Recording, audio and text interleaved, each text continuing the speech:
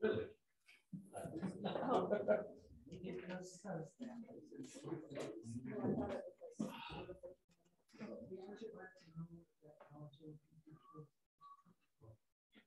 Driving me nuts this morning.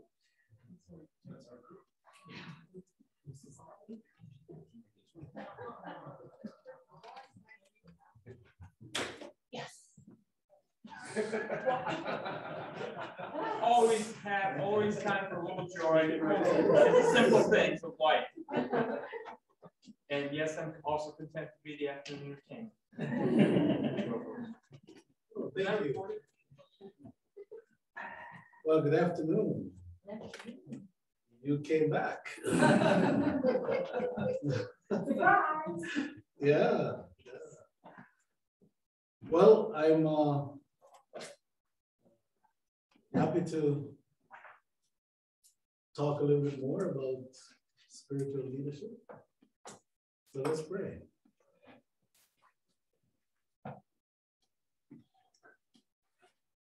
Gracious Father, we thank you again for another opportunity that you give to us, Lord, to, to share about spiritual leadership. We, we thank you for your call upon our lives.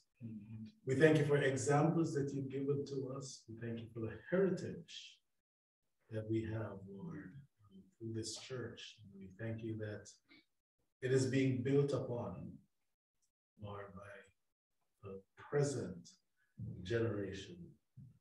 And so we pray that you would equip us and strengthen us and allow us to be good stewards of, of what you've given to us and, and where we are,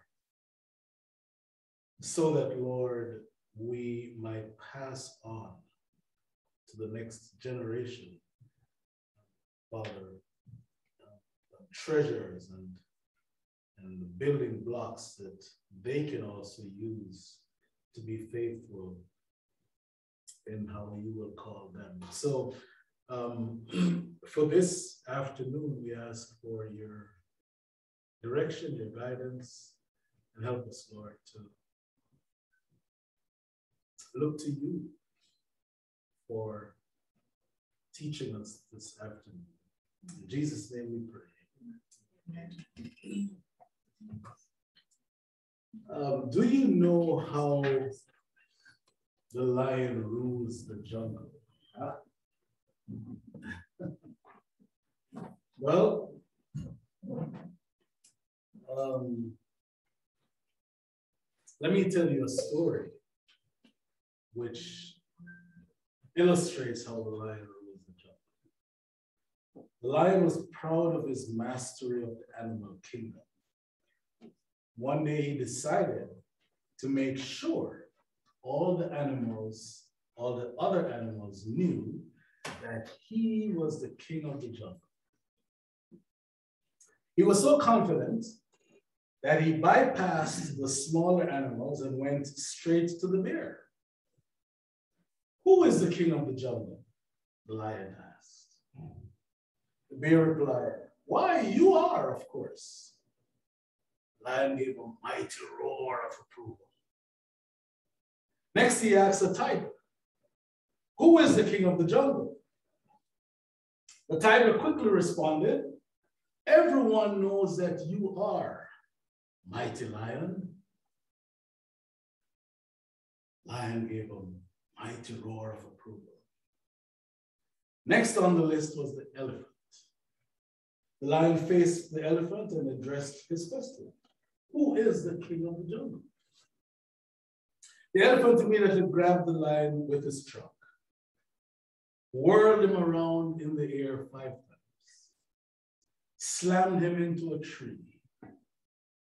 Then he pounded him onto the ground several times, dunked him underwater in a nearby lake, and finally dumped him out on the shore. The lion, beaten, battered, and bruised, struggled to his feet. He looked at the elephant through sad and bloody eyes and said, Look, just because you don't know the answer is no reason for you to get.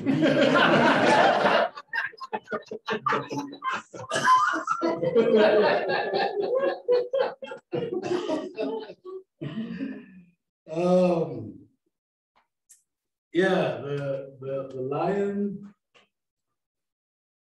uh, rules the jungle by intimidation. He wants everyone to be afraid of him. There are sometimes problems with leadership, um, wishy-washy, are some of words we can use to describe leadership, manipulative, tyrannical, abusive, despotic, deceitful, untrustworthy, coercive, intimidatory, selfish, incompetent, impotent, coward, etc. But the type of leadership that we should be interested in exemplifying, practicing, embracing, giving uh, an environment to and a culture for is what we can call servant leadership. But what exactly is that? It almost sounds paradoxical. Servant leadership. but servant leadership is not about controlling people. It's about developing. People are the most valuable assets and resources the church has. Therefore, they must be handled with the greatest care and stewardship. So do we know what servant leadership looks like? I want to give us um, a, a picture, a model. And, and Jesus Christ, of course, is our prime example. He is our supreme leader. He is the one to whom we look. And we can see true biblical leadership from him. Because certainly, if we can't see that from Jesus, where else would we look? And so I want to, to give us uh, five words that define and model servant leadership as shown to us by Jesus. Um, those five words, uh, three S's and two E's. That is, they will, they will begin with three S's and two E's. The first S is that servant leadership, I believe, is shared leadership. I think we need to see more of um, shared leadership rather than leadership where there is one person who has the feeling or is given the, the, the sense that I am the leader and everybody else is uh, falls somewhere else under me. But um, shared leadership, I think, um, is, is, is the way to go. Uh, and, and Jesus said in, in John 15, I no longer call you servants because a servant does not know his master's business. Instead, I have called you friends. For everything, Jesus said, that I learned from my Father, I have made known to you. Everything that I have learned from my Father, I made known to you. Do you realize that Jesus took these 12 guys and poured himself into them, taught them? Now, now, first of all, I would uh, would bet that if you and I were given the chance of selecting the 12 disciples, we wouldn't choose those guys. Those were as, as, as, as unworthy, as uh, unbecoming of, of being disciples of Jesus as you could find. But Jesus took them and says, For everything that I learned from my Father, I have made known to you. Then he said, You have not chosen me, in John 15, but I have chosen you and gave you this work. Jesus could have done everything. Jesus could simply speak, and everything that he wanted to, to happen would just happen. Uh, he could just miraculously um, make things happen. He did not do that. He worked with these guys. He was perfect at everything, yet he chose imperfect, bumbling disciples. Why did he give them everything? Because he did not plan to stay. He knew that he wasn't going to be around forever, physically here on earth. That's true for, for all of us. We're not going to be here long. Um, now, one difference certainly between us and Jesus is that we really don't know when we're, we're going to go. But, but I think that in our minds, we should keep it that we are going to go one day. And the truth is, it could be tomorrow. It could be this evening. We just don't know. So um, so I, I think one of our one of our goals um, that that is worthwhile is um, everything you know. Is there somebody that you need to share that with? Is there somebody you need to be passing on to? What do you know? And you know a lot. You've you've You've done a lot of studying, you've done a lot of um, reading, you've done a lot of researching, you've, you've built up a, a, a tremendous uh, amount of, of stuff, knowledge, information. You have it. And the truth is that if you don't pass that on, when you die, then it dies.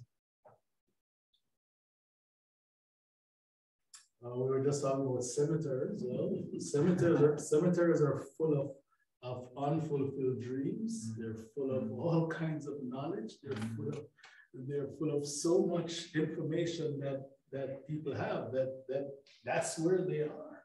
They're in the cemetery because they were not passed on to anyone. Who do you need to be sharing your leadership with? Whatever, whatever is the level of your leadership, whatever is the, the area of your leadership, it doesn't matter. Um, but but share it. And, and you may say, you know, I'm looking for the right person. Well, you know, were those 12 guys the right people?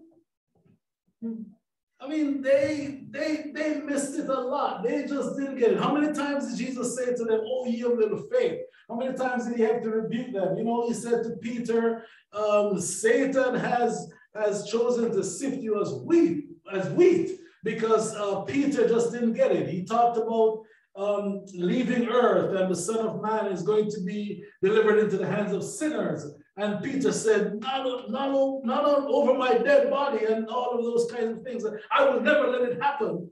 So he, just didn't get it a, a, a lot. But, Jesus kept, kept giving, kept pouring, kept teaching, kept ministering, kept um, equipping, kept showing. And uh, and and um, when when when Jesus was was um, uh, taken uh, captive and about to be crucified, and uh, the little young lady um, said, pointed to Peter and said, "I I've seen you with him. I know that you're one of his." And the Bible says Peter cursed and swore and said, I don't know this man. Now that same Peter, just a few hmm. weeks later, on the day of Pentecost, when Jesus was no longer here physically, stood up in Acts chapter 2 and preached a sermon that at the end of it, 3,000 people said yes to Jesus. That same Peter. So the point I'm making is that, that Jesus understood what shared leadership was. He was turning over the leadership of the church to 12 guys who, if we were grading them, they would not be ready. And by the way, when Jesus was, uh, when it was time for him to leave and he was now ascending to his Father, Jesus didn't look at those guys and say, you know, I, they're not ready. I need to stay for six more months. I need to extend my stay and get them a little bit more prepared. 35 more years, maybe. Yeah, right. No, he didn't. When it was time, he left. And he left those guys. Those were the, leaders of the church. He left the ministry of the church in those hands, and then in the hands of those guys. Matthew uh, um, 28, when, when he said, Go into all the world and, and, and preach the gospel. And those were the guys he was talking to. So, servant leadership is shared leadership. Um, so, let me read you another fictional letter, which is a great example of how we might have looked at those early disciples. Um, it says, uh, Dear Sir, thank you for submitting the resumes of the 12 men you have picked for managerial positions in your new organization. All of them have now taken the battery of tests and we have run them through our computers. It is the staff's opinion that most of your nominees are lacking in background, educational, and vocational aptitude for the type of enterprise you're undertaking. They do not have the team concept we would suggest that you continue your search for persons with experience and proven capability. Simon Peter is emotionally unstable and given to fits of temper. Andrew has no leadership skills at all. The two brothers, James and John, place personal interest above company loyalty. Thomas demonstrates a questioning attitude that would tend to undermine morale.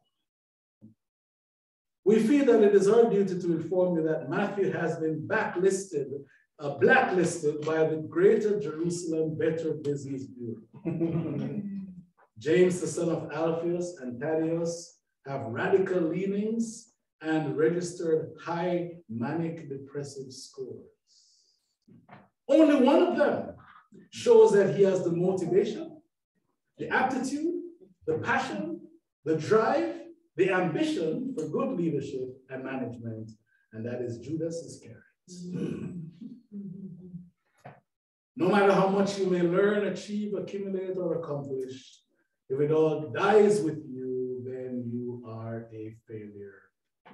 Your influence will not continue in banks and buildings, hmm. bank accounts. Your influence will only continue in people.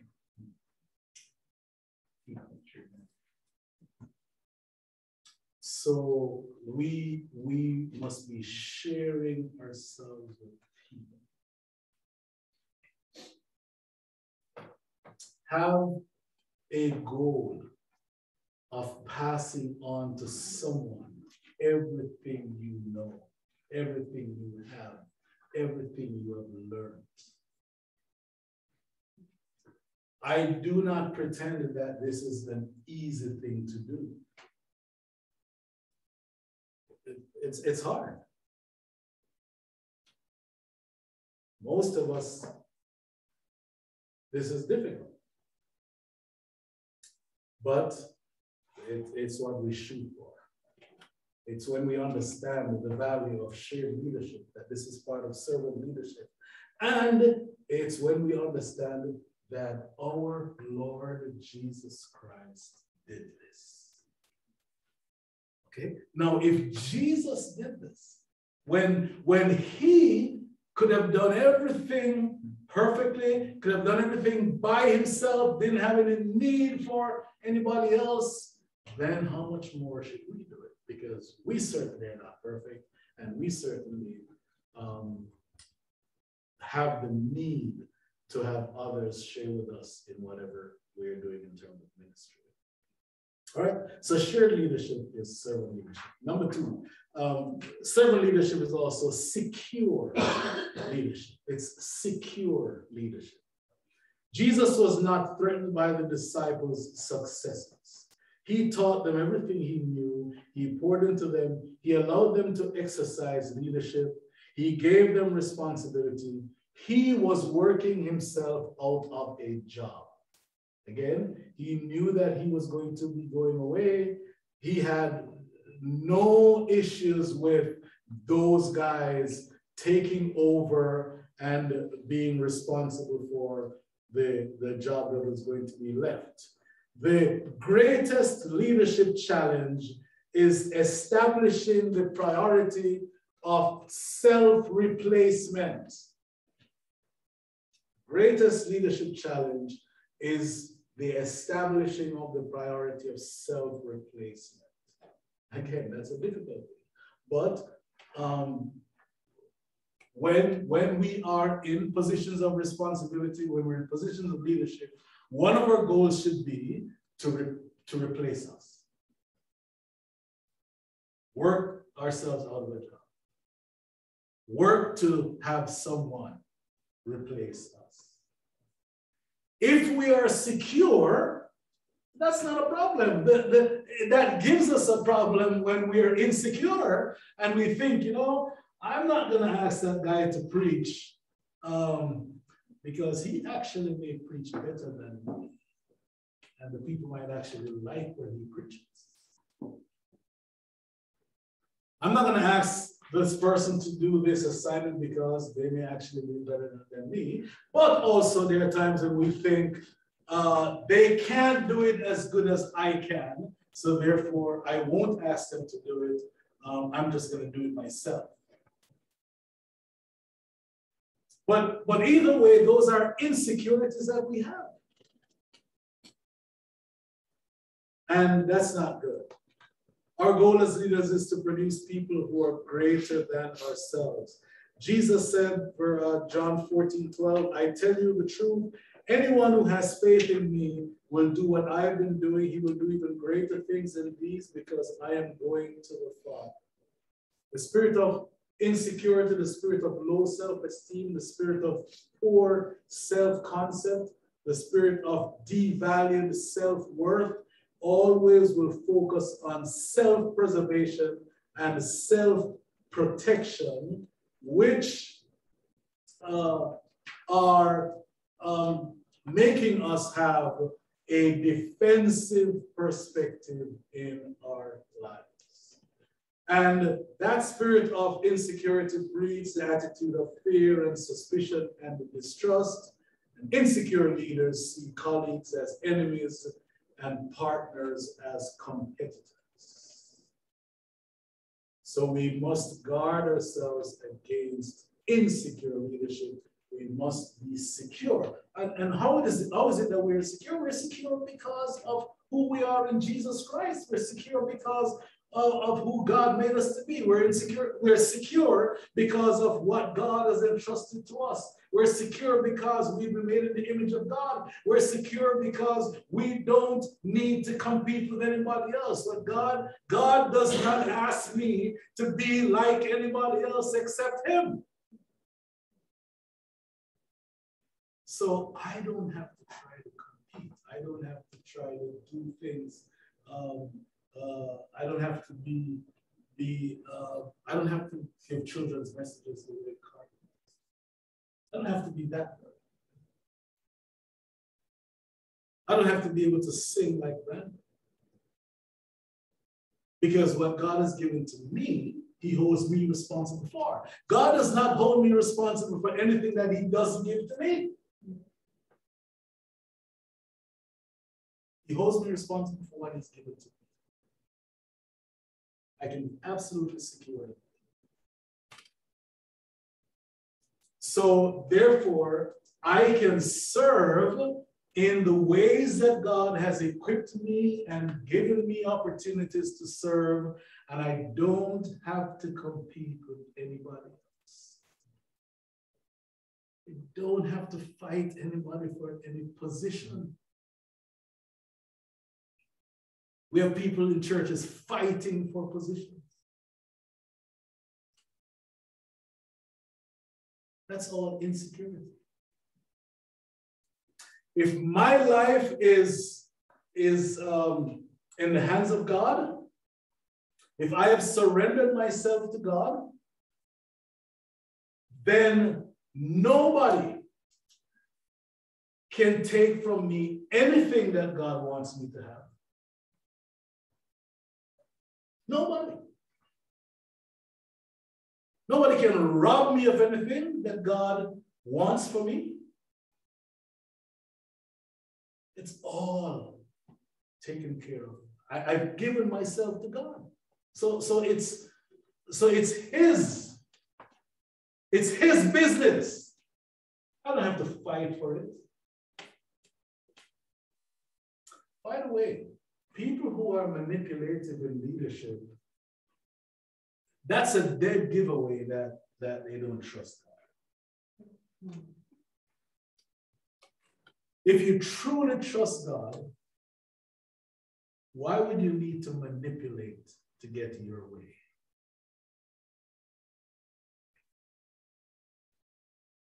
Yeah, I don't think those two compete. By being manipulative in leadership, you are saying you don't trust God. You're saying, I have to make this work. I have to, to make this happen.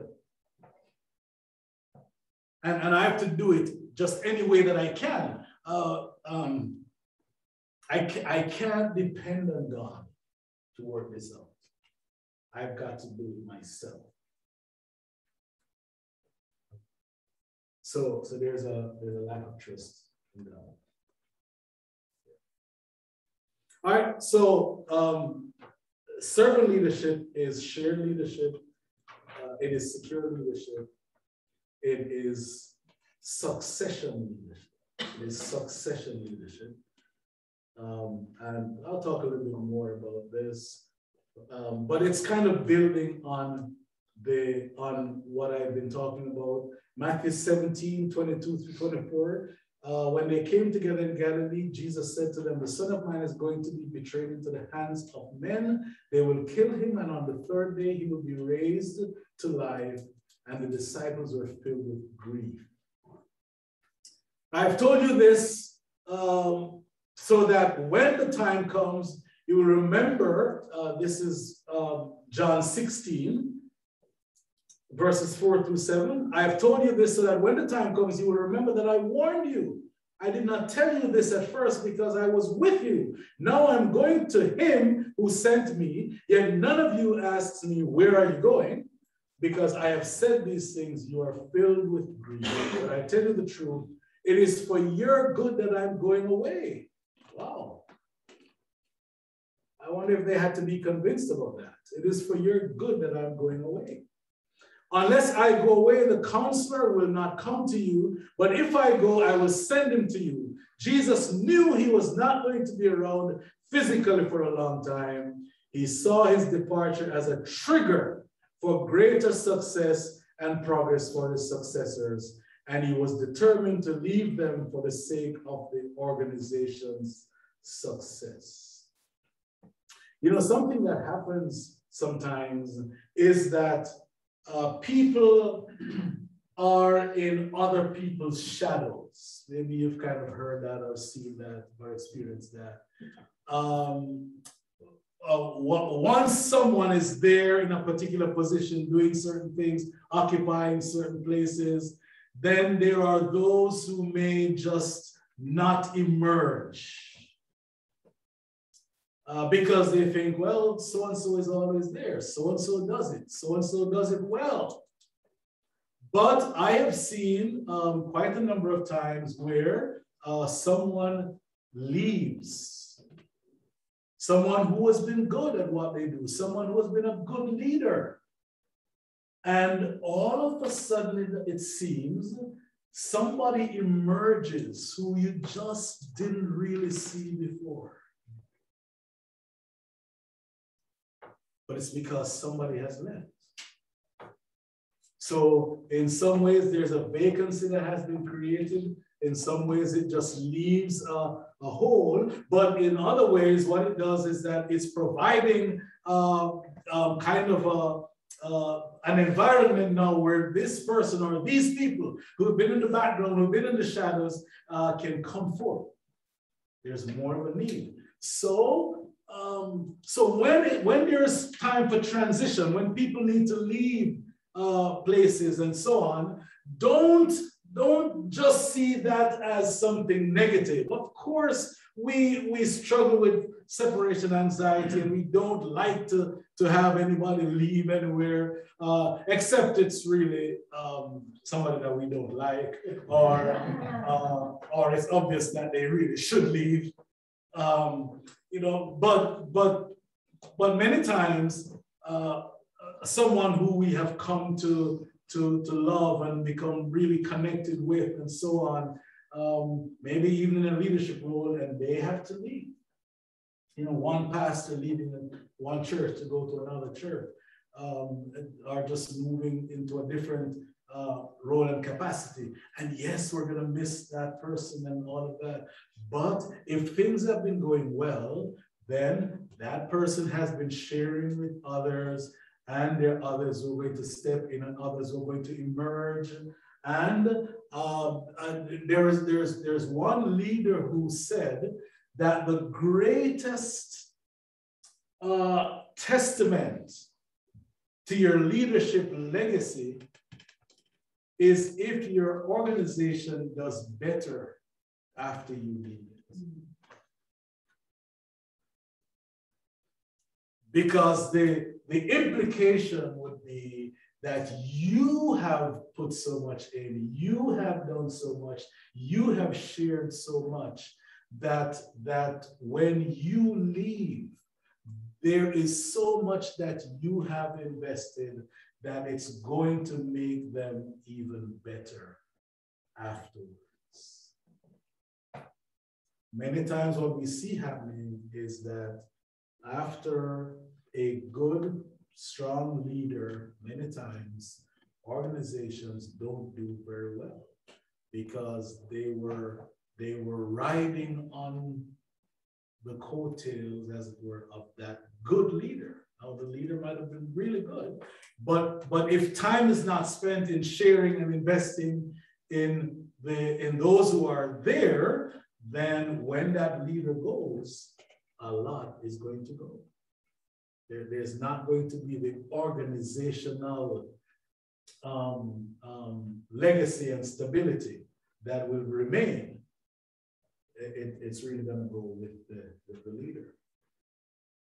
So, uh, so Jesus says, um, he, he saw his departure as a trigger for greater success and progress for his um, successors. There is no success without successors. It is not what leaders achieve that counts, it is what they transfer. It's not what leaders achieve that counts, it's what they transfer to others. Success is not what is not what happens while you're alive or while you are in your position. It is what happens after you leave. Two, ma two major mistakes that leaders make are to believe that they are the only ones who could and should fulfill the vision and to think so so one one mistake one major mistake is to think that they're the only ones who should or could fulfill the vision the second major mistake is for them to think that they should fulfill the vision in their lifetime in other words you, you are there as a leader and you think everything needs to happen while I am here. I'm suggesting that that is, that is myopic, that is short-sighted.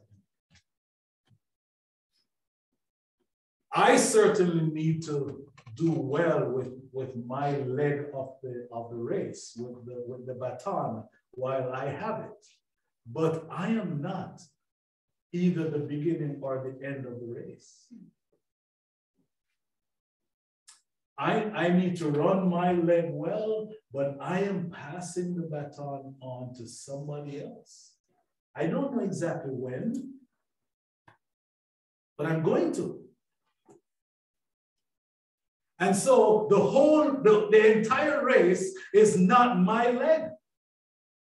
My leg is just one part of the race. I'm not trying to run the whole race. That was not meant to be. So everything does not have to be accomplished in my lifetime. I need to have a vision that is beyond me. I need to have a vision that, that goes beyond when I'm, I'm here. Succession uh, leadership. We, we're, we're passing the baton on power, authority, and influence can be addicting and intoxicating. Servant leaders must resist those temptations. They must know when to leave a position. They must be secure enough to know when to depart. It takes courage to make yourself unnecessary. It takes courage to make yourself unnecessary. It takes courage to train your replacement. It takes courage to work yourself out of a job. Um, one, one leader said, the day you start a new job, a new position, a new leadership opportunity, the day you start, you prepare to leave the first day you prepare to meet. Because you, you understand that you will not be there forever. Don't know when it is that you're going to be going, but you know that you're going to go one day. Uh, there are, we, we're, we're, we, we've seen, we've heard of situations where um, a leader dies suddenly. Just, just dies. No expectation, no warning, just dies. And um, we've seen that in many cases, um, it has, it has just devastated their organization or whatever it was that they were leading. Because there was very little preparation for, for that to happen. That can happen to any one of us. I'm not trying to be morbid, but, but I'm just I'm just saying that that's a reality that we all need to just give some thought to.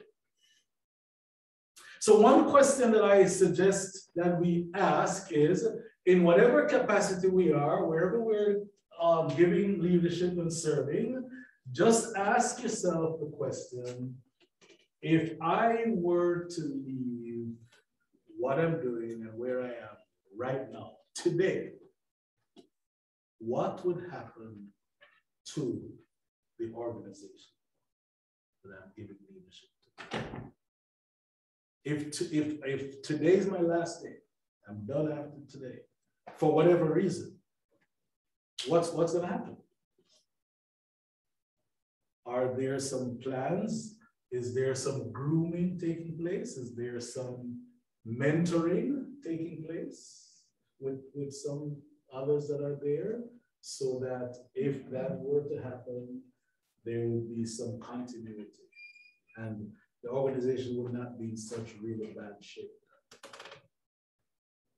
So um, share leadership, secure leadership, succession leadership, and then number four, servant leadership is empowered leadership. Empowered leadership. Empowered leadership. Um, in Matthew 10, verse 1, let's see. Jesus called his 12 disciples to him and gave them authority to drive out impure spirits and to heal every disease and sickness. Again, I ask you to think imagine Jesus did this to these 12 guys.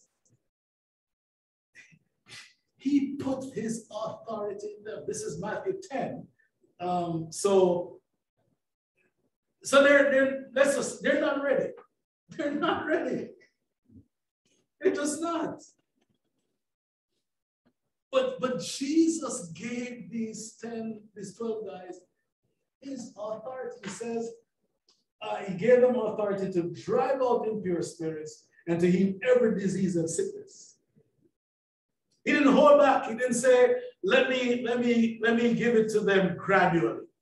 Let me give the authority to them to authority to them incrementally. He empowered them. He, he thrust them into responsibility with his authority.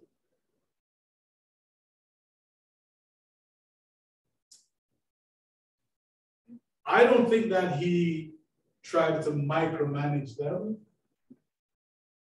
but they had his authority. And again, we, we have many, many evidences that they were not ready. Remember one time they went out and, and they were shot themselves because they came back to Jesus and said, listen, uh, master, the demons are subject to us. Demons are subject to. I mean, they were so surprised that, that they could do things in the name of Jesus. He gave it to them. He empowered them. We tend to hold back many times because we think, yeah, you know, they're too young, they're too immature. And, and you know, there is, there is, there is a reality to all of that. Uh, but what I'm saying is that we need to understand that we've got to, to do more empowering. And if, if many of us would think of our own experiences and our own journey, we would realize that people entrusted some things to us at, at a time when they had no business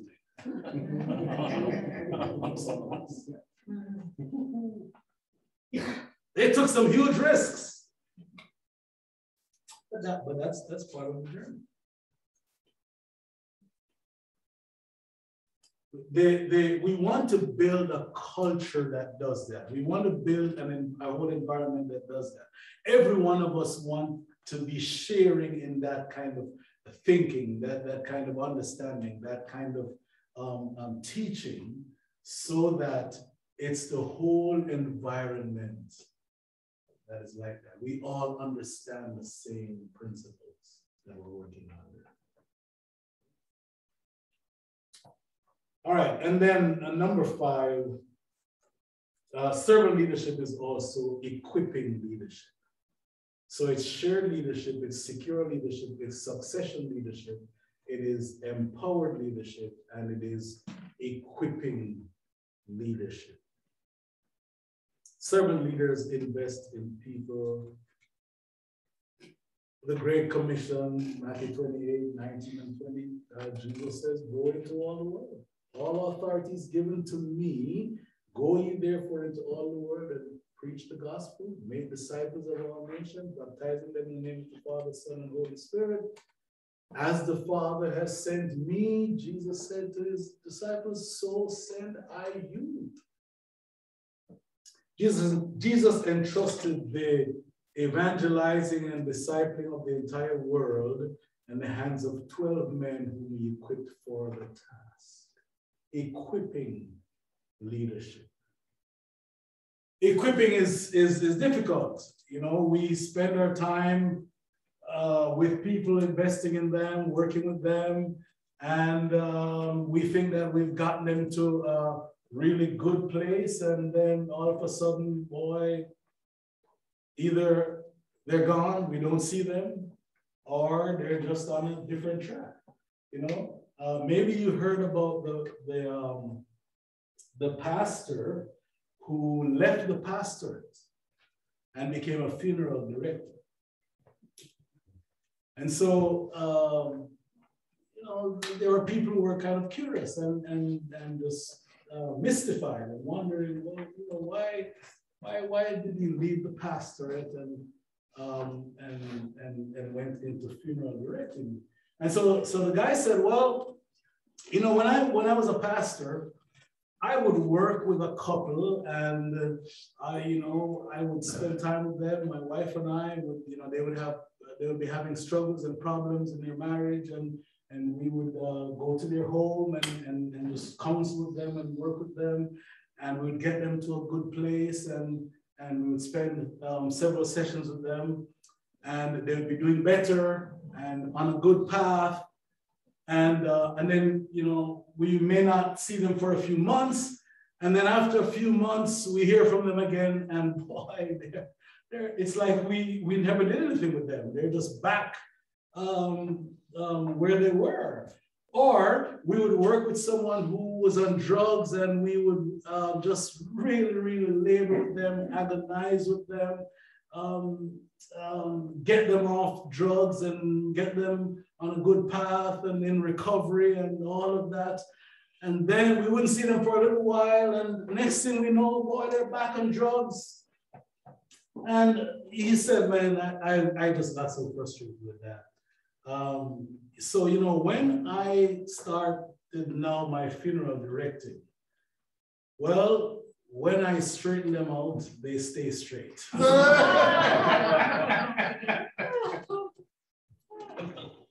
so equipping is difficult because you can spend a lot of energy and effort with someone and and it doesn't work out that's just a reality but it's what we've got to do anyway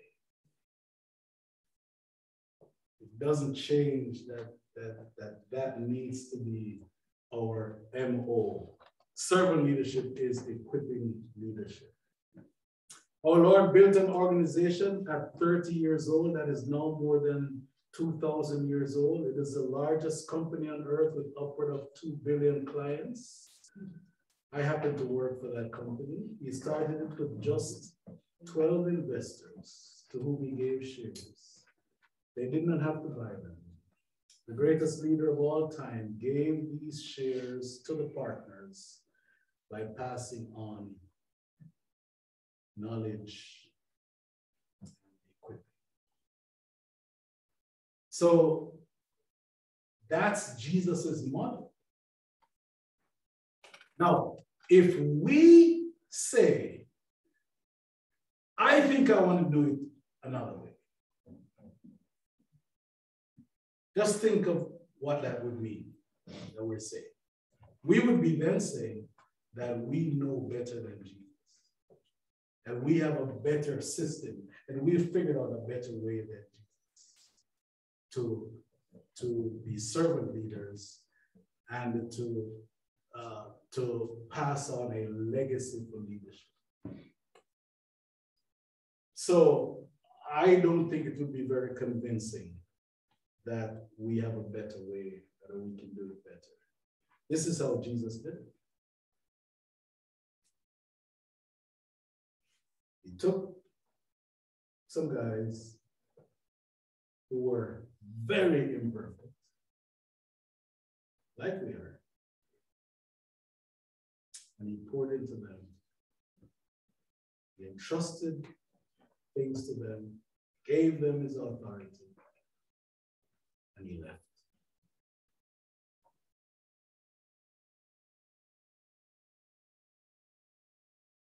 Um, I, am so we're we're we're I'm, I'm closing this this part and um, I just thought this is interesting. Um, it's entitled "A Wanted Man." If Jesus had entered into one of our modern cities leading the parade, he would have been arrested immediately. He would be a wanted man. The FDA would want him for turning water into wine without a license. The EPA would have wanted him for killing fig trees. the AMA for practicing medicine without a license. the Department of Health would have wanted him for asking people to open graves, for raising the dead, and for feeding 5,000 people in the wilderness without a food permit. the NEA uh, would have had problems with him for teaching without a certificate. The OSHA would have had problems with him for walking on water without a life jacket. the SPCA would have problems with him for driving hogs into the sea. The National Board of Psychiatrists for giving uh, would have problems with him for giving advice on how to live a guilt-free life. And the NOW would have problems with him for not choosing a woman disciple. The Abortion Rights League would have had problems with him for saying that whoever harms children, it is better that they had never been born. The interfaith movement would have had problems with him for condemning all other religions. And the zoning department would have had problems with him for building a temple in three days without permits. so Jesus was radical. He gave all kinds of people all kinds of problems. But Jesus is our one. As a matter of fact, Jesus had big problems with the church people. The church people had his big, some of his biggest problems with the church people, the religious people. So, so Jesus is showing us, I think that that's not what he's about. He's not about religion. He's not about uh, churchianity. He's not about um, us, us um, seeking to, to preserve sacred cows. No, he's about what makes people's lives transform, where they're no longer um, helpless about their condition, but they, they place themselves in his hands and he does a transforming work that he invites, he does it in us, and then he invites us to help him to do it in others. And, and that, that, that's it. All right, so we'll we'll take a break, and then um, if you come back, then we'll we'll have one we'll have, we'll have one more uh, about an hour. All right. like about 10 minutes or so. On, um, on our final lap here. Yes. And Um, you have come back again. So that's good. Okay. Well, um, are there any, any thoughts or any questions from uh, what we talked about in our last hour? Anyone wants to share? I have, I have a question. Okay, so I had a question from what you said. If I were to leave what I'm doing today, what would happen to leadership for continue? And I'm thinking, in some things, I don't see someone that has the skill set that I have, but I don't think that matters because Jesus knew that they weren't exactly ready. It's more the investing in the people part. Is that what I'm getting? Well, Am I getting uh, right? yes, so I think, yes, we are, we're developing people and we're building people. So that is, that, that needs to be just a continuous thing, um, at all times. Um, but also, so, so that's a, that's on a broad and general, um, basis, and we should be doing it. Uh, but also specifically, I, I think we should be looking now, um, for many of us, we really may not see someone that has, uh, that has our skill sets, especially those of us who, let's say that, uh, some of us are more gifted, more accomplished than, than others. Um, so it, it may be very difficult to actually, uh, see someone who has everything that you're looking for. But, but keep in mind that, um, you didn't get to where you are um, in a day. And there was a time when you didn't have any of that. And, and, and probably somebody did invest in you or open a door for you or gave you a chance when you didn't have much. So, so what I'm saying is you, you're not going to find the perfect candidate, probably. But just, look, look for potential. Look for uh, people with that you see the right attitude, the right heart in, uh, people who are willing to serve. Um, and yes, look for look for some abilities and some skills, um, but potential, because they really may not be where you really want them to be, but part of your job is to help them to get there, help them to develop, help them to grow. So, yeah, because again, um, if you go go back to the, the Jesus's model, none of these guys had um, what Jesus really, what was really needed. Um, they started out very, very inadequate, very um, uh, undeserving from any measure. But then um, you realize that that the, the historical record seems to suggest that that all of the, the apostles probably died martyrs' deaths. Um, which meant that that by the time they came to the end of their lives, they were very different from when Jesus called them. Um, so a lot happened over that time, beginning with how Jesus um, um, poured himself into, into them. You know, that's always encouraged me that the apostles were imperfect and didn't get it because as imperfect as they were, Jesus still chose them, still worked with them, and that's been an encouragement, even to the point, if you remember, that Paul later on in the epistles has to confront Peter when he withdraws fellowship from uh, the Gentiles, even at the question of them being admitted into the church and having full show, full, the full spirit, the full fellowship of Christian, being Christians is, is settled. And Paul still has to confront him later. Sure, yeah, and, and by the way, that's an example that that even when you have had some kind of powerful impartation of the spirit, it means that it doesn't mean that you then walk a straight line uh, because the, the, this, the reference you're talking about is after Peter gave this big message on the day of Pentecost and saw 3,000 people come to, um, to, to Christ that um, at, at that moment, And had And yet- vision about it. And had, and had the- the vision, yes. And yet Peter um, exhibited such prejudice that Paul had to confront him. After all of that, we, we are all works in progress.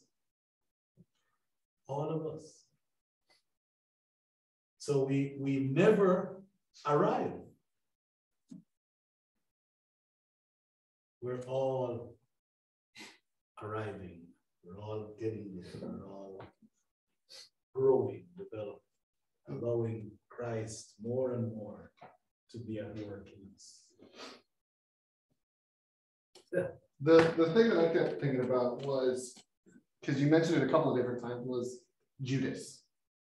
So just because the, where I went with it was, as you mentioned, the people he picks, right, are not people that anybody would pick for this position. They're not people that would, would do, and, and, and so the thought is if you're building leadership, it's about picking people, it's about building into people. And then you mentioned, and sometimes they're gonna fail you and something, right? And, and I think that like that's one of the lessons we learned from Judas is that this method, even Jesus only was 90, 91% successful, right? I did the math. I did it. I took it, I did the math. It was, it was 91.7, so okay, 92. 11, 11 12.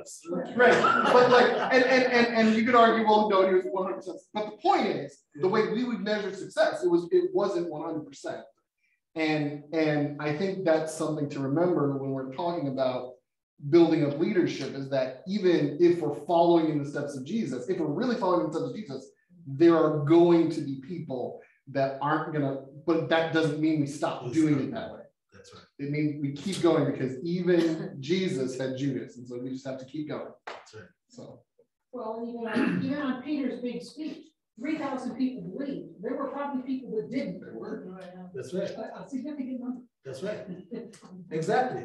So, yeah, so in that same setting where you had the Holy Spirit move upon three thousand that they, that they, they had no, um, they just really had to, to respond. Um, there probably were some people who slept through what Peter said.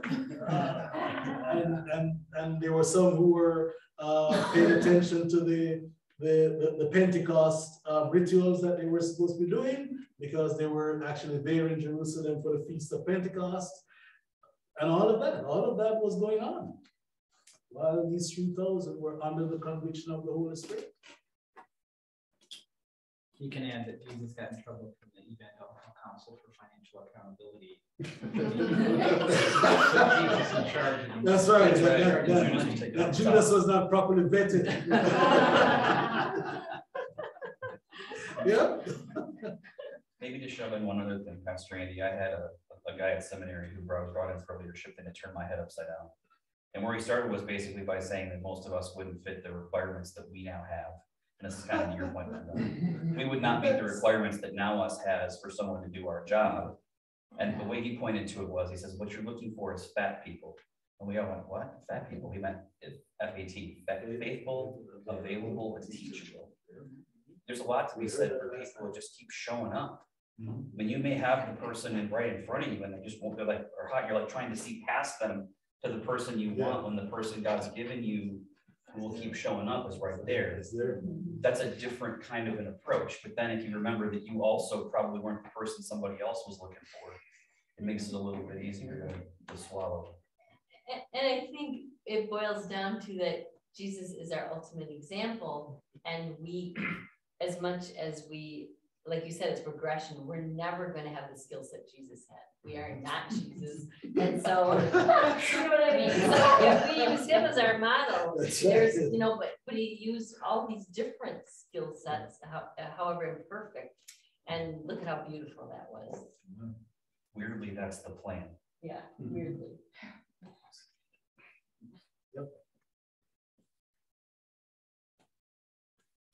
All right, we are going to, to run through this handout um, pretty quickly because I don't want you to accuse me of um, going overtime. That should make him worry about time. Start Yeah, those- now. Those anomalies do exist sometimes. We don't have to pay you overtime, we're good. Um. All right, so, uh, let's just start with, um, everything rises and falls in leadership. Um, I just mean by that, that, that leadership is so significant, so important. We can't ignore it, we can't, um, sideline it. It, it's important. Um, typically, when God wanted to do something, something great, something of significance, he would normally uh, call out a leader, select a leader, choose a leader, have a leader identified in some way. um, because leadership is just needed. I talked this morning about the, um, the, the problem of leaderlessness. When there's no leadership or there's bad leadership, um, that's a huge problem for, for everybody. So, so we, we can't devalue the, the, the benefit of leadership, right? And leadership is influence. That is, uh, that, that on your handout there. Um, if we, if we were to boil leadership down to one word, it's influence. But certainly remember that, that you can be inappropriately influential. You can try to influence inappropriately. And, and there, there are some ways in which that is very obvious, and then there are other ways that it's kind of subtle and, and people wrestle with whether this is okay or not. You know, for example, if I if I wanted to be uh, the moderator for the connecting church, and I just felt I, I just feel God calling me to to that role. Um, and uh, there's going to be a business meeting and there's going to be an election of officers and so on. Uh, but prior to the meeting, um, I, I, I just, uh, I just give a gift of uh, fifty dollars to uh, people in the congregation. Uh, with a little card that says, um, whatever, vote for me or something like that that would be, there- there's nobody who would have any difficulties seeing that, that, that is, that is wrong. That- That is, that, that is misplaced. There's no place for that at all in the church, in the kingdom of God. That's obviously wrong. So there are, there are times when, when um, inappropriate influence is very, very obvious uh, that, that it's wrong. But there are other times when uh, we may not be so sure. And, and we may be doing things, or people may be doing things that, that are borderline, and we have to wrestle with them, or we're just not sure. But, but the truth is that, that leadership influence.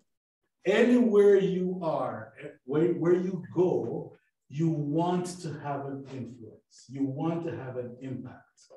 Okay? But as spiritual leaders, we are called to do that in a way that honors God. That, that is just a key thing. There, it's, it, it, it's not wrong to be influential. We want to be influential. That's really what it means to be salt and light. It means to have influence. It means to have impact. It means to, to, to do something about the, the, the, the environment where you are, to make a difference in the environment. That's influence. But our influence must always honor God. God is right in the center of that equation at all times. We're not called to try to influence on our own, in our own strength, by our own means, um, using our own desires and ambitions. No, we've got to bring all of that under the subjection of the Lord God Almighty. Let Him call the shots. We're just His um, channels. All right. So, seven ways to influence people, and I'm going to do this. And I, I, we may not get through all of this, but but that's okay. Um, we'll uh, we'll do this again next year. um, all right. Number one, force. Force. I mean, people actually try to influence by force. And there are two kinds of force, A, violent, and B, non-violent. So I'm giving this to you quickly. So seven ways to influence people. One is by force. That is, there are people who just really try to, to force something on, on you. And sometimes it's done uh, violently, just speaking in general. And, and there are non-violent ways to do that, but, but force, all right? Number two, intimidation. So a second way that, that uh, people can be influenced, and by the way, um, these, these ways to influence people that, that I'm gonna talk about, um, they, they sometimes work, or they, they work on different levels and they work in different uh, circumstances, and this is why people do them, um, because sometimes they do work. Uh, intimidation. The good news is that intimidation is often the quickest way to get results. Everyone hops when the leader says jump. Uh, that's what the lion tries to do. The bad news is that this method is short-lived. It causes turnover in organizations. No healthy person stays in this kind of environment very long. So you may get some results by trying to influence by intimidation, but it, it's not going to last. And, and, and, and people, um, generally healthy people, are, are, are just not going to stick around in that kind of environment. Um, three, manipulation. Manipulation. That's another way that, that, that people uh, seek to influence. Characteristics of manipulative leadership. A, one person wins, the other loses. So manipulative leadership usually has that, a win-lose kind of um, situation. B, control of the situation is one-sided. So there's a one-sided control.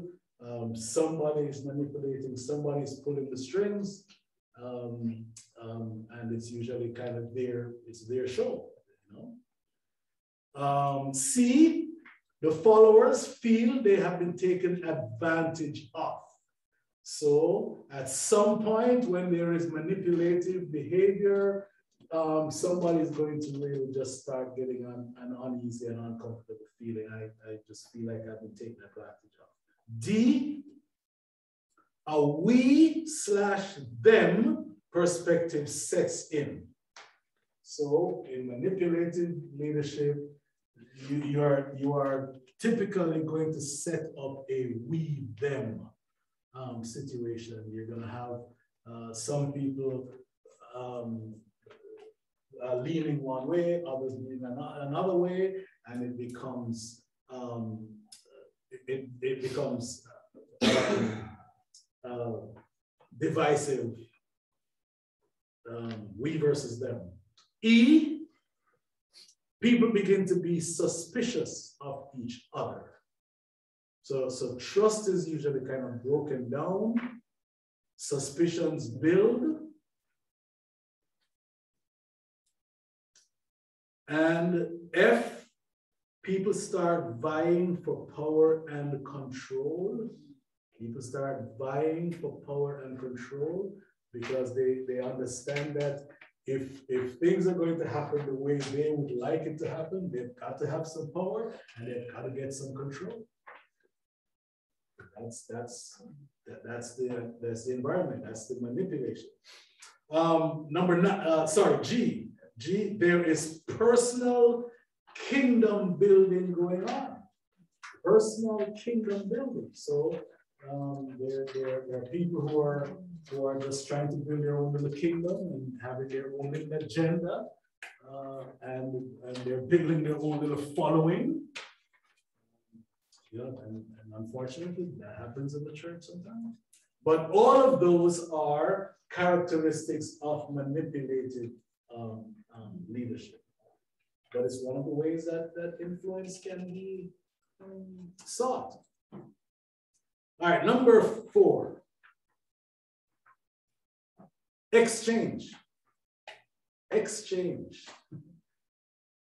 The pros of exchange, it is fair and just.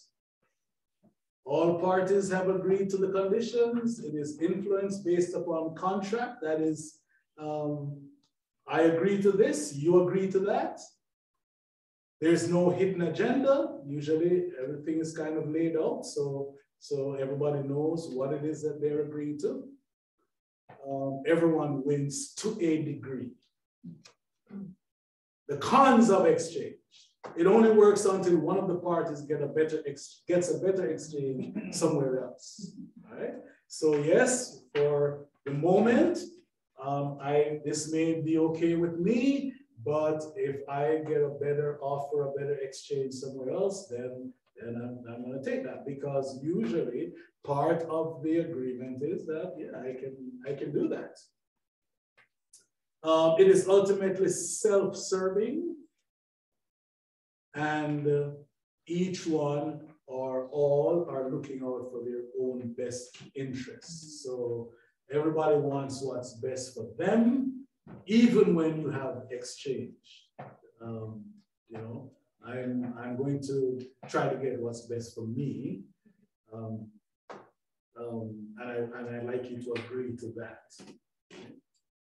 Um, number five, persuasion. That is really just uh, trying to to uh, get someone to to to move your way, to think your way. So you try to persuade them.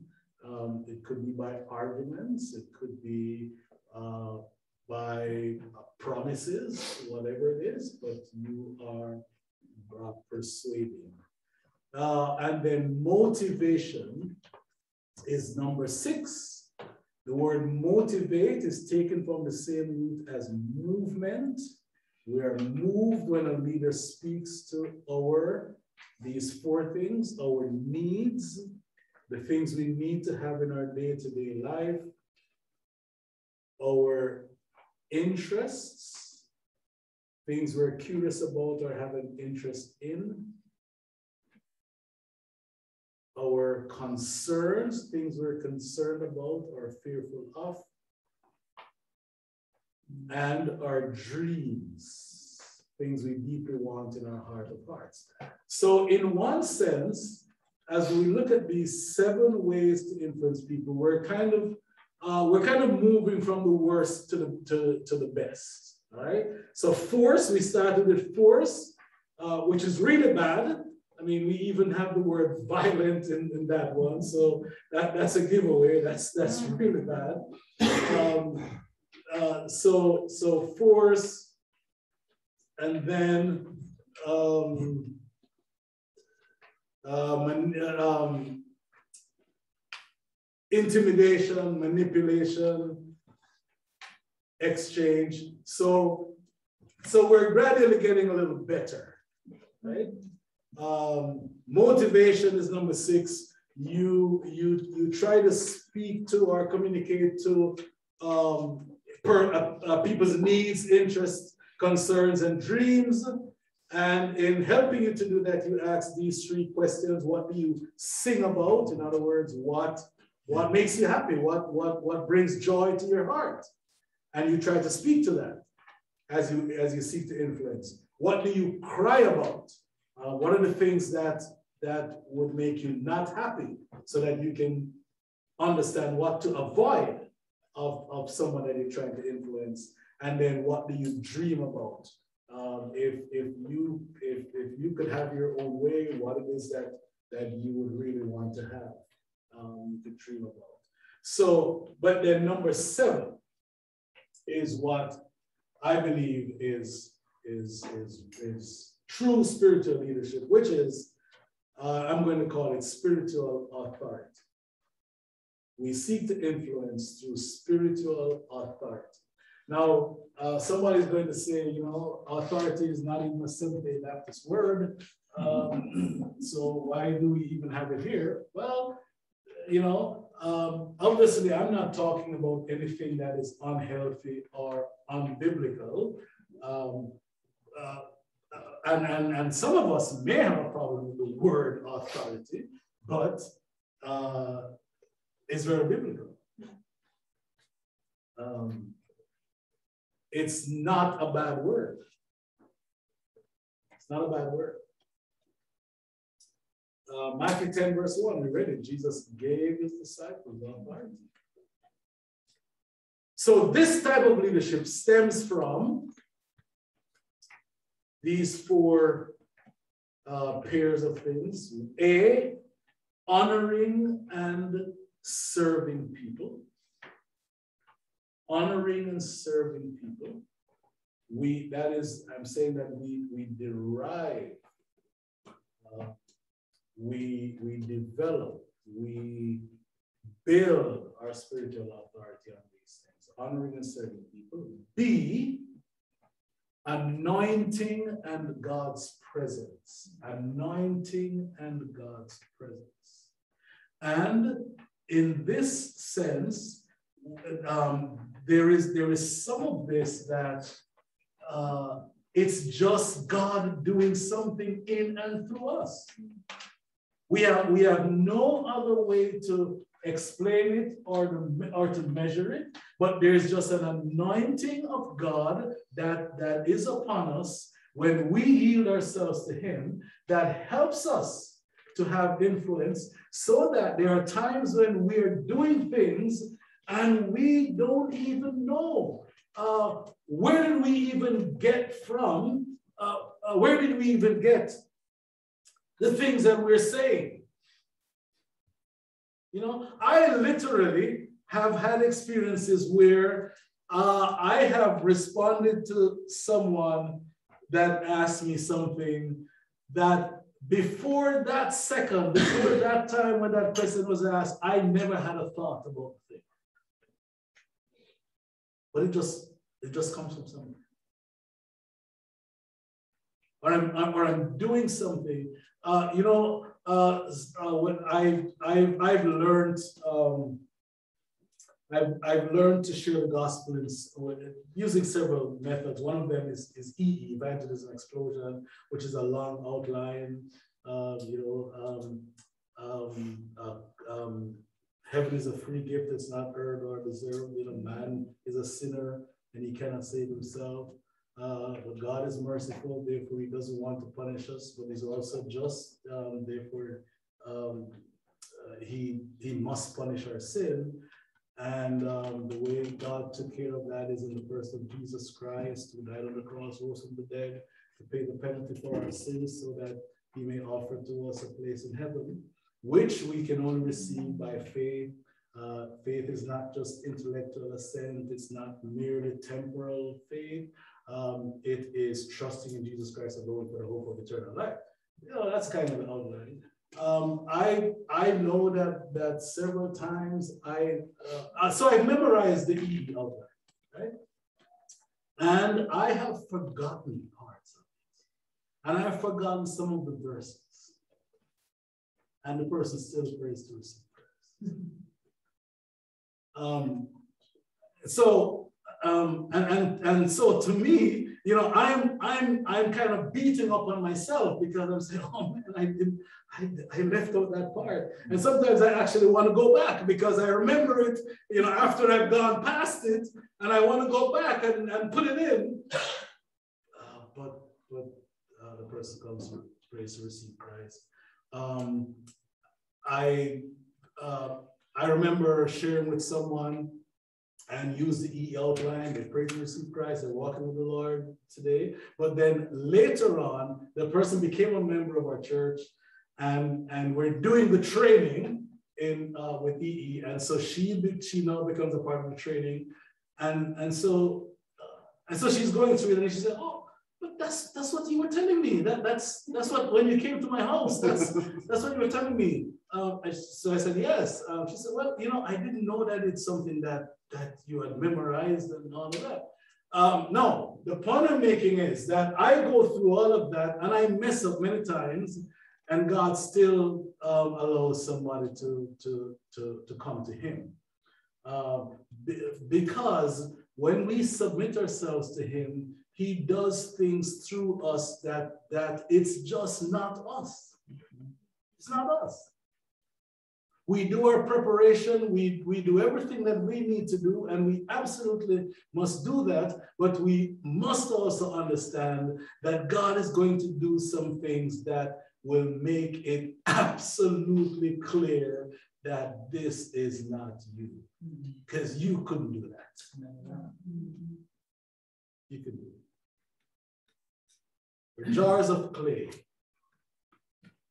Um, Paul says, um, and and and uh, we're jars of clay so that it may be known that the the unsearchable power of Christ rests upon us because we do some things that we just know that it's not us. So anointing and God's presence is part of what gives us our spiritual authority as leaders. And we need to use that, but not abuse it or misuse it. Because that can also happen. There are people who think that, you know, because God used me in this way, one day, then man, I can just tell everybody that God says, and then they're supposed to follow because I say, you know, God said this. No. It also comes from C, this, the, the spiritual authority, that type of leadership comes from giftedness and competency. Giftedness and competency. In other words, God places his gift, excuse me, in us. Right? In each of us, as, as believers, we have um, spiritual gifts and we're to use them in the work of, of, of his ministry. We're to use them to serve the Lord. And we are to do our best to develop those gifts, become better at what God has given to us. So competency is, is, is developing a mastery of what God has entrusted to you. So if I have been given the gift of teaching, it doesn't mean that I don't have to study because I have the gift of teaching. So I stand up before people and I open my mouth, and the Holy Spirit will fill it with the words and they will come out. I think you recognize all of that for what it is. Um, just say in your mind what all of that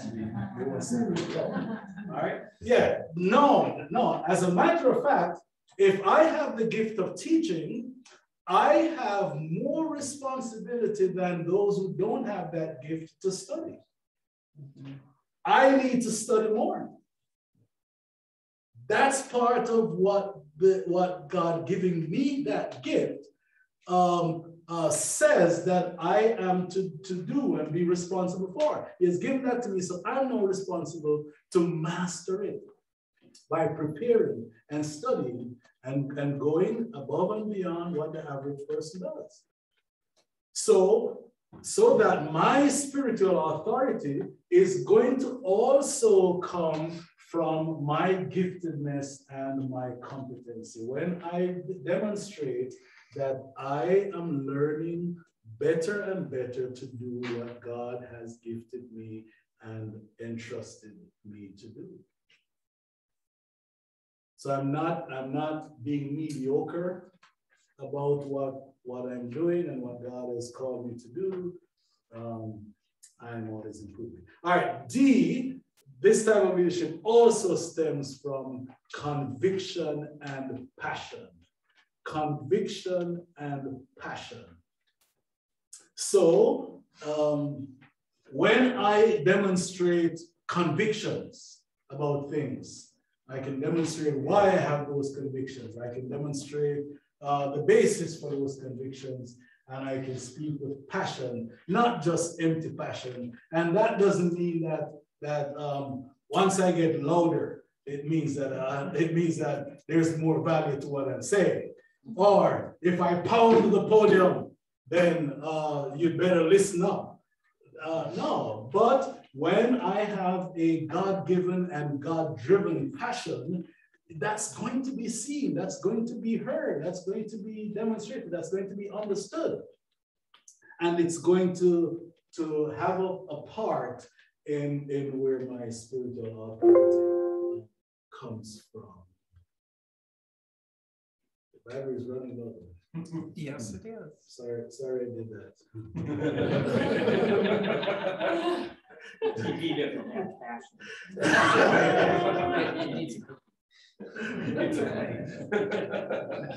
All right, so an equation at the bottom of page two, character, who we are, plus communication, how we say it, equals influence.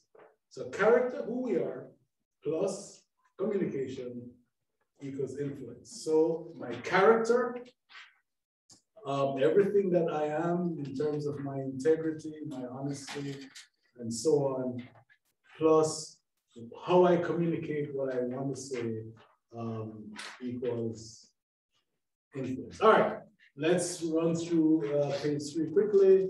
Why do people listen and respond to leaders? 10 reasons. One, relationships. Why do people listen and respond to leaders? Because of relationships, because of who you know. That is who you have um, been developing a relationship with, who you uh, take the time to get to know, who you take the time to ask about themselves, and and um, and you you spend time learning those things about them. Two, sacrifice. People listen and respond to leaders um, because of sacrifice. That is because of what you've suffered. That is, you know, you've you've taken some hits. You've taken some blows. You've given up some things, but you've but you've stuck with it. So so people are going to to to know those things and understand those things, and and they're going to that's going to contribute to how they listen to you. Three, insight because of what you know. Okay, So when you are able to speak insightfully into things, you, you're just able to, to, um, to see some things that maybe the average person doesn't see. Uh, people are going to take notice of that. Insight. Um, uh, four, experience. Experience because of what you've achieved. Um, you know, do some things. if you are, if you're leaving, if you are in ministry, you know, do, do some things uh, so that people will see that you've actually done something um, because of what you've achieved. People pay attention to that, and it will give you um, uh, some opportunity for them to listen to you. Um, five abilities because of what you are able to do. So again, you show them, I have these abilities, I can do these things, and I do them. I, I, I give up myself in these ways. Um, people